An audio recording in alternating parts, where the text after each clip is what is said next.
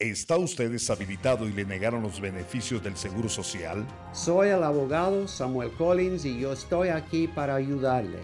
Llame a mi oficina al 622-8902. Si le negaron su reclamo por incapacidad de seguro social, yo le puedo ayudar. Para una consulta gratis llame al 622-8902. 622-8902.